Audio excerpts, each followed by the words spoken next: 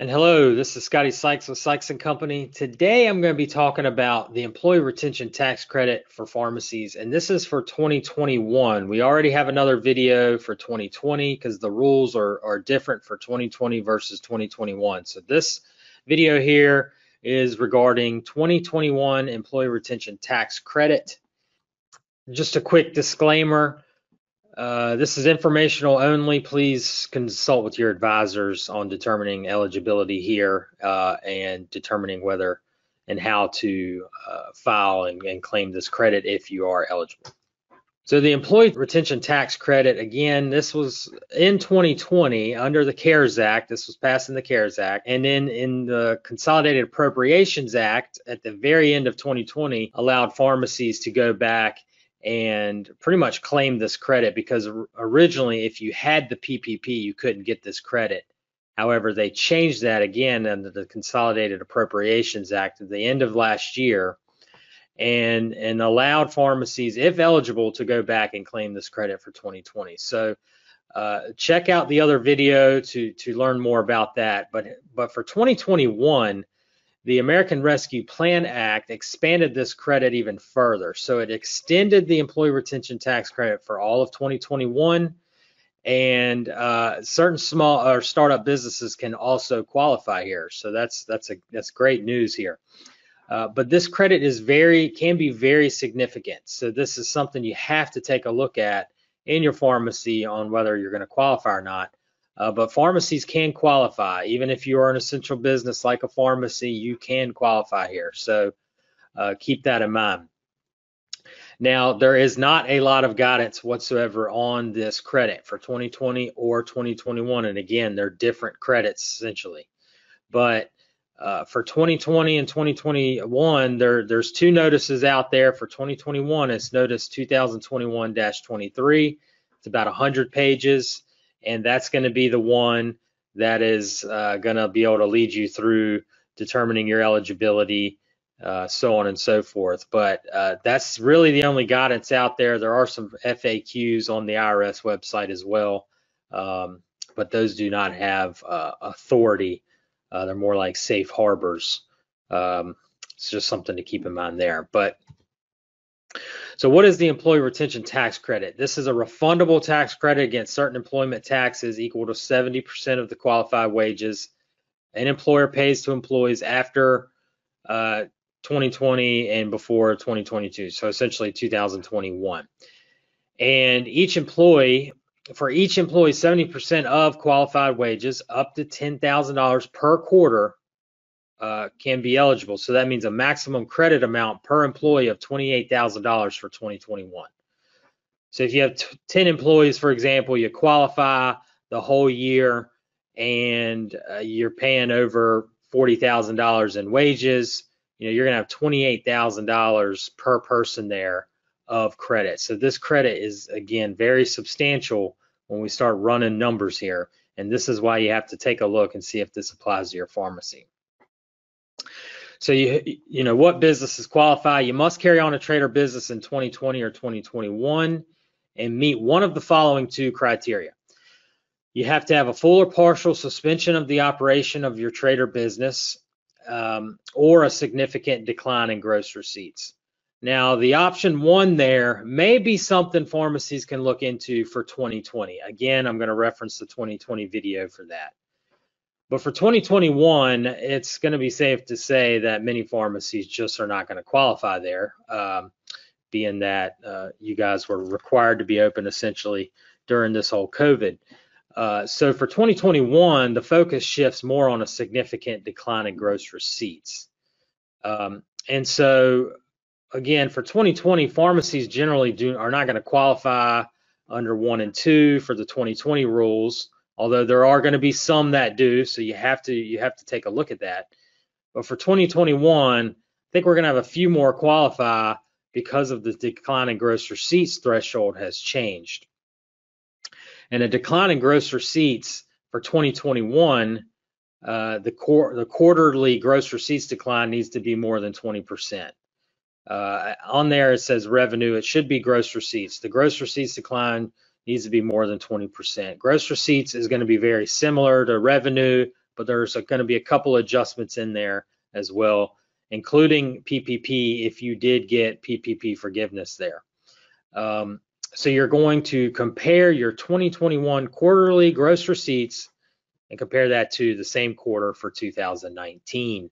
If there's more than a 20% drop, uh, you may qualify. So that's something to to definitely take a look at in your pharmacy. Um, now there is a special rule for 2021. So you may use the gross receipts in the prior quarter versus the same quarter in 2019.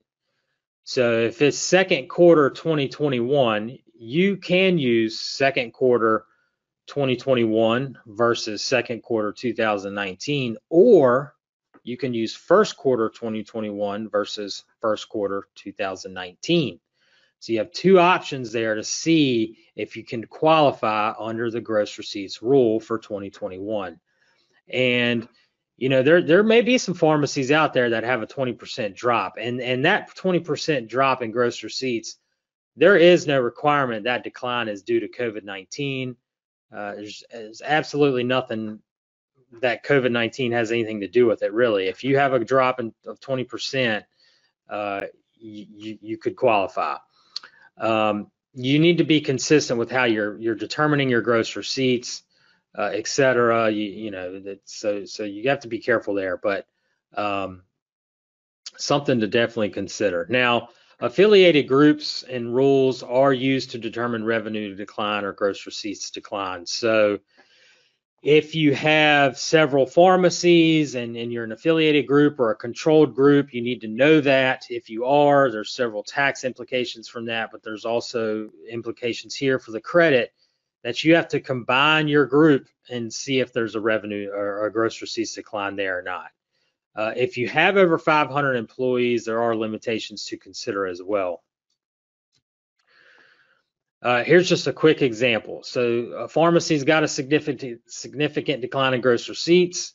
Uh, the pharmacy qualifies for two quarters. They have eight employees. Their qualifying wages uh, are on the left column or the left side there. The wage amount, which is 70% of the wage column, uh, is the credit amount. So you can see here uh, the pharmacy credit amount is going to be close to $70,000 here. Uh, and again, this is some serious money. This is reasons why you need to look at this. Now, some important considerations. Uh, the IRS is is actually checking these manually. Uh, their their systems are down for for this credit, so they're manually checking these. So you definitely want to have your facts, circumstances, and gross receipts uh, well documented that prove your eligibility. They have extended the audit uh, statute of limitations for this credit.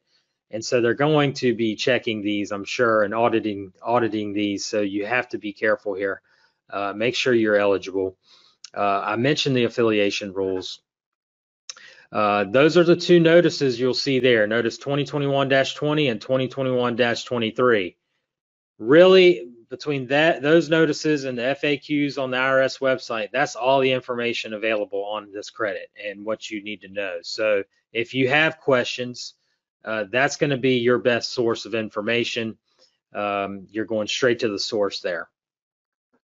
Now, I, I, mentioned there's no clarification on PPP, including in gross receipts, if not forgiven. So if you have not gotten that PPP forgiven yet, does that account for gross receipts in that uh, that calculation for your decline. And that's not clear yet. So that's an unknown. Um, there's no clarifications on owners qualifying. Uh, there's there's two lines of thought that says owners do qualify. Uh, there's another line of thought that says they don't. So that is an unknown. Uh, you're going to claim this by filing uh, your payroll tax return form uh, 941, or you can get an advance credit on Form 7200 if you are uh, um, applying before your uh, tax return due date for your 941. Of course, you need to consider this impact, the impact of this credit for other relief provisions and tax credits. For example, last year the PPP and the ERTC could not overlap, so you had to plan around that. Uh, just be careful that there's other things that impact uh, that use wages for credits and so on. So you have to be careful not to overlap those or double dip, if you will. And lastly, here, you need to watch out for people that are going to sell these credits. This is going to be more, you're going to hear more and more and more about the ERTC, uh, and you're going to have more and more groups selling this that, oh, yeah, you qualify, you qualify, everybody qualifies. Uh, just be careful there. There's going to be a lot of people out there selling and, and charging these uh, pretty large fees uh, to get you this credit. So just be careful there. And uh, you can always uh, reach out to Sykes, ask Sykes at sykes-cpa.com to get our opinion or, or any recommendations on someone who may be reputable. But that's uh, concludes the quick ERTC for 2021. Check those gross receipts, talk to your advisor, see if you qualify. Some big money's on the table here for 2020 and 2021 potentially. So this is definitely something to, to take a look at.